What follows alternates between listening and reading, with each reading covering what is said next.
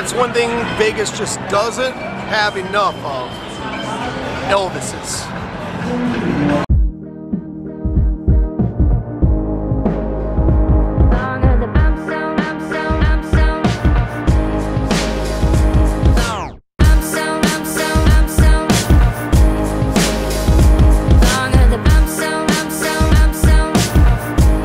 Continuing the journey.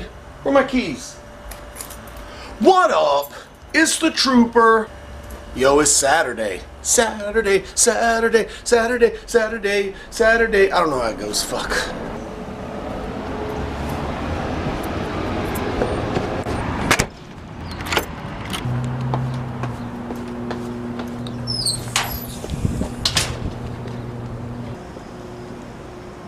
It's pretty warm out here. I think I'll just drive.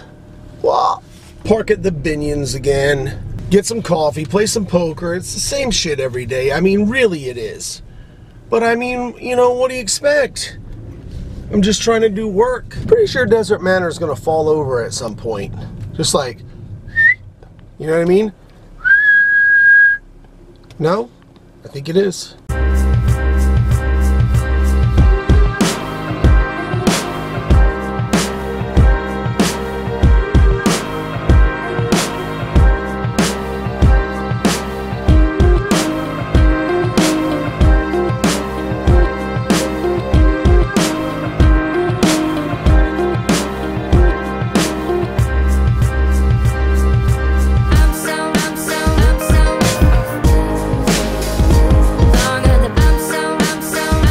Right, back to this rickety ass elevator that we may just die in one day. Gotta do what we gotta do.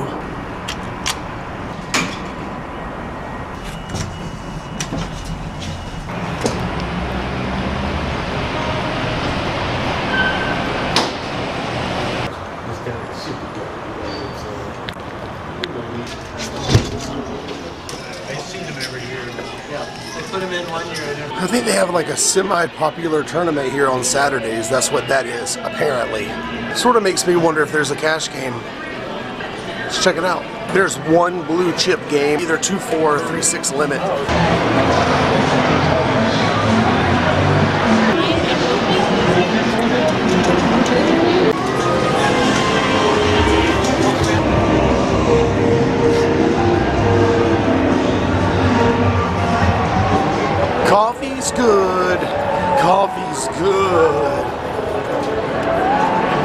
Remembering Dumb and Dumber, and he's like, pills are good.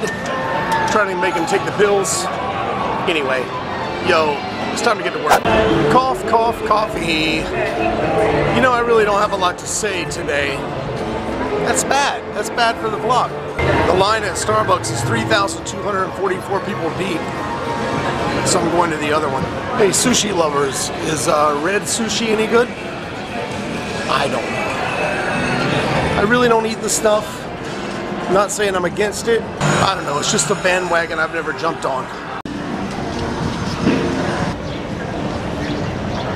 I'm in a good game. I'm not getting any cards. Whether you know this or not, in one 2 limit, especially on the weekends at the Golden Nugget, most of the time you bet, you're betting for value. Or at least that's what you should be doing. There is bluffing in 1-2, but not as much as one might think. But in order to value bet, you've gotta have the best hand. They tried to give me a coffee that wasn't hot. Just goes to show you, you can't depend on other people. Here's something I hate at Starbucks, and they do it at corporate Starbucks too, not just, you know, asswipe casino Starbucks. They, uh, whenever like the coffee's cold or they don't have enough coffee or whatever, they're gonna brew fresh. I always tell them to wait until it's finished. It takes like four minutes to brew, usually. I always tell them to uh, wait until it's finished before they, you know, pour the coffee into my cup, and they never fucking wait until it's finished. So the coffee's not right. You have to wait until the full, until the whole batch is properly brewed before you start taking coffee out. I always tell them to wait, and they never fucking wait. Pool is hopping at the Golden Nugget. Didn't I say this just a few, just a few days ago? It really is though.